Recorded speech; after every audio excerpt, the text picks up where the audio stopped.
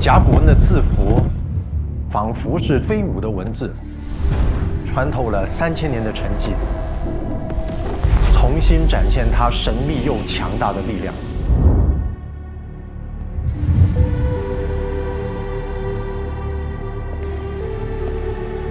甲骨文是古代神官在龟甲、牛骨上面篆刻、烧灼，透过裂纹分辨神谕，是人类最早跟大自然、跟宇宙之间互相沟通的一个明证。一八九九年，甲骨文首次在河南殷墟出土，进入了现代人的视野里面。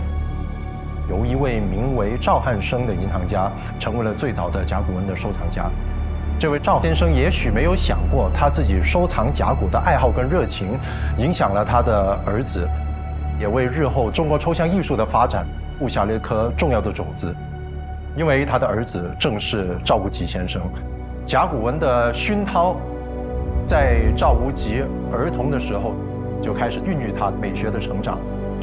二次大战以后，赵无极到巴黎发展。到了一九五四年，他已经成为了欧美画坛上面冉冉升起的一颗星星。而这一年，他也进入了他艺术创作上面非常重要的一个转折点。艺术家摆脱肉眼所见的物象的再现，呈现他内心跟精神上面的世界。甲骨文正好是最好的钥匙，作为美学灵感，跨越具象跟抽象艺术之间的边界。这一张盛夏森林可以说是赵无极迈入抽象的一个关键历程。虹彩在画面上面喷薄而出，犹如光速穿透枝叶，洒落于大地之上。